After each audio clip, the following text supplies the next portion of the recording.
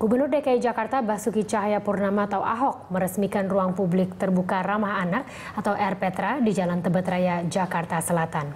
Dalam peresmian tersebut sempat diwarnai aksi unjuk rasa dari Forum Umat Islam Warga Tebet.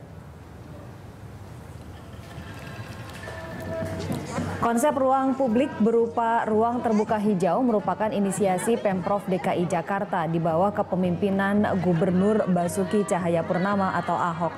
Ruang ini dilengkapi dengan berbagai permainan menarik, pengawasan CCTV, dan ruangan-ruangan yang melayani kepentingan komunitas yang ada di sekitar RPTRA tersebut, seperti ruang perpustakaan dan ruang laktasi.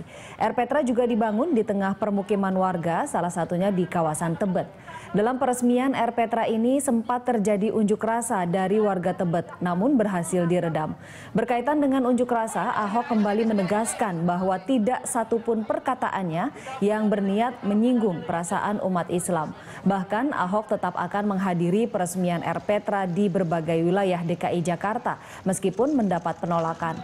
Setelah melakukan aksi selama dua jam, pengunjuk rasa akhirnya membubarkan diri.